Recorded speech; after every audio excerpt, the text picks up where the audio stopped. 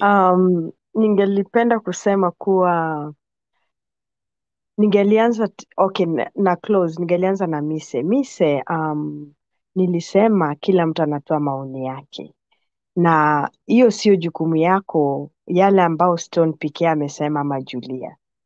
Hiyo ilikuwa ni maoni ya Julia kusema kwa nini mheshimiwa huyo Raila ameenda nje. Hiyo sio kazi yako.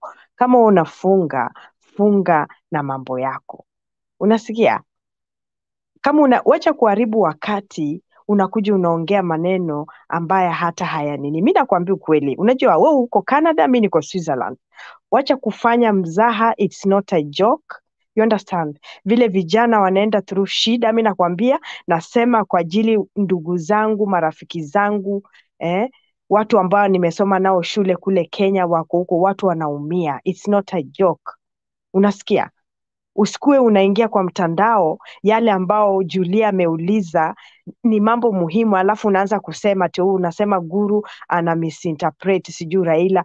Usijaribu kusema hivyo, unajua wewe unacheza, unacheza.